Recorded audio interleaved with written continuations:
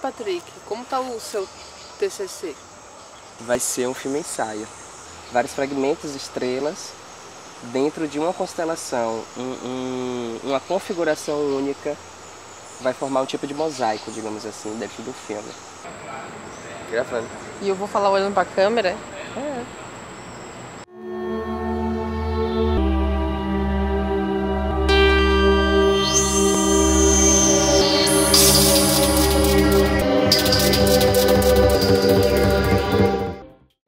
Patrick, eu preciso conversar com você, faz favor, a respeito do documentário que a gente, que nós conversamos a semana passada. Como, como tá? Então, é, a UESC não está liberando o carro. Eu já tive que dispendiar um, um recurso para poder ir com o carro e com os equipamentos lá para gravar. O seu objetivo, Patrick, é cumprir os requisitos da disciplina ou fazer um documentário do jeito que você idealiza? Porque neste momento você tem que ver essas prioridades. Se técnica e o seu saber estão a seu favor. Eu queria que a senhora solicitasse mais uma vez o transporte para. Patrick, o problema não é eu solicitar, porque isso não me custa.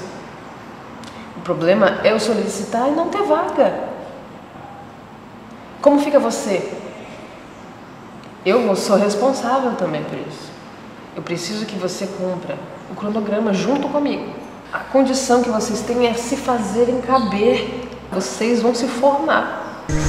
A crise econômica está diante da porta. Atrás dela está uma sombra, a próxima guerra. Porém, os outros precisam instalar-se de novo e com poucos meios.